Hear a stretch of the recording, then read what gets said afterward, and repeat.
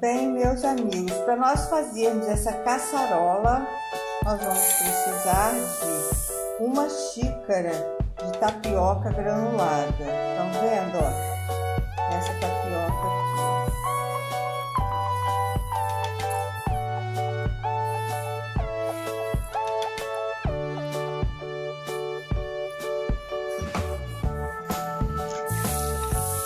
Essa nossa caçarola né, de tapioca, nós vamos precisar de uma xícara de tapioca, a minha de 240, duas xícaras de leite, tá?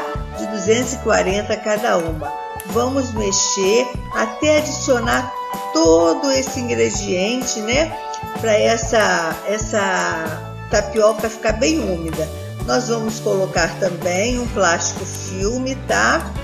Para levar à geladeira por aproximadamente umas 6 horas, tá? Para esse para essa tapioca ficar bem macia, para na hora que você for fazer a sua caçarola, você não ter aqueles gruminhos duros. Então, bora lá comigo.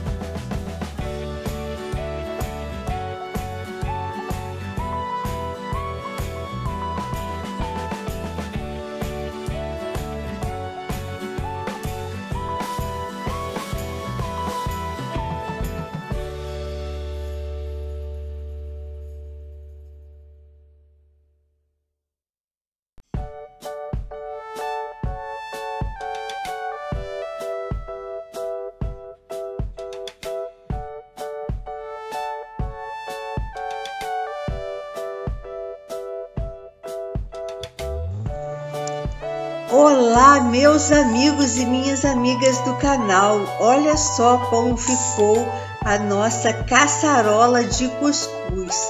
Ficou tudo de bom, né? Vamos e venhamos. Ela ficou macia, saborosa, molhadinha, no tempero do açúcar sensacional, não ficou doce demais, tá? Ficou excelente, não ficou com gruminhos. Espero que vocês tenham gostado dessa receita.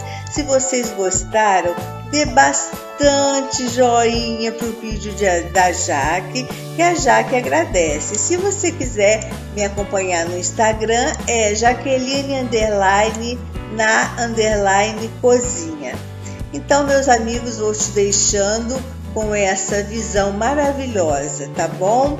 Então, beijo, meus amigos e minhas amigas. Amo vocês. Não esqueça do